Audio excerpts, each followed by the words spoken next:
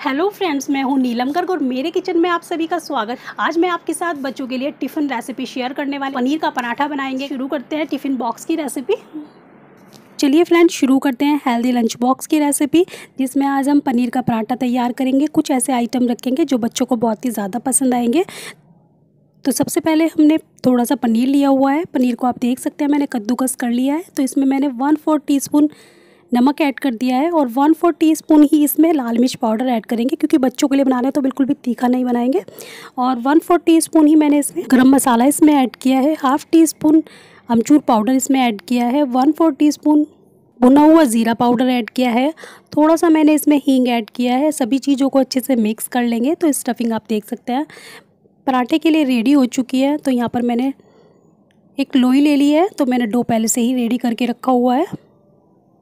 थोड़ा सा इसको बेल लेंगे और इसमें ऑयल अप्लाई करेंगे। तो यहाँ पर मैं देसी घी का यूज़ कर रही हूँ, क्योंकि बच्चों के लिए बना रहे हैं तो हेल्दी सा टिफ़िन तैयार करेंगे। तो आप जो भी कुकिंग ऑयल खाना पसंद करते हैं, उसमें इसको बना सकते हैं।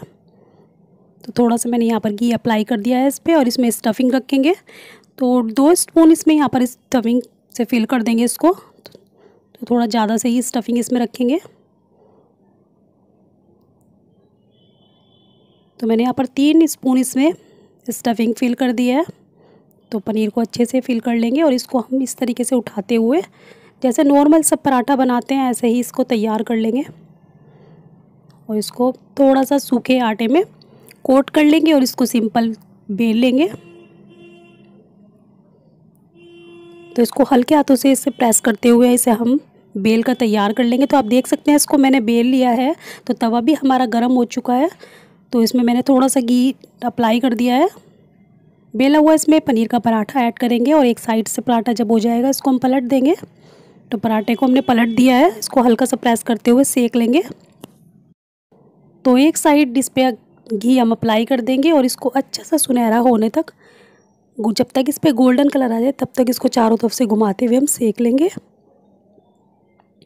और आप देख सकते हैं कितना ज़्यादा बढ़िया पनीर का पराठा बनकर तैयार हो गया है। तो सेकंड को भी सेम मेथड से हम बनाकर तैयार कर लेंगे। तो सभी पनीर के पराठे बनकर हमारे तैयार हो गए हैं। और आप देख ही सकते हैं कितने ज़्यादा बढ़िया बने हुए हैं। पराठे को मैंने इस तरीके से कट कर दिया है। तो लंच बॉक्स में आज मैंने थोड़ा सा तरबूज रखा हुआ था तो उसको भी मैंने कट करके रख दिया है। बच्चों को बहुत ही ज़्यादा पसंद आता है। थोड़े से मैंने एक एक दो पीस स्लाइसिस खीरे के रख दिए हैं। थोड़ा सा मैंने हेल्दी टिफ़िन तैयार कर हैं तो उसमें बीट भी रख दिया है। इस तरीके से सब चीज़ों के साथ बच्चे खा लेते हैं। थोड़े, एक दो मैंने यहाँ पर बादाम रखे हुए हैं, थोड़े से काजू और किशमिश भी रख दिए हैं। दो मैंने लौकी के यहाँ पकौड़ियाँ इसके साथ रखी हैं और मैंने एक फोक और एक मैंने स्पून इसके साथ रख दिया है। एक मैंने इसके साथ वाटर बॉटल रखी है और एक बिस्किट जो बच्चों को बहुत ही ज़्यादा पसंद आता है। तो आप देख सकते हैं हेल्थी सा टिफ़िन बनकर हमारा तैयार हो गया है। आई होप आज का वीडियो आप सभी को पसंद आएगा।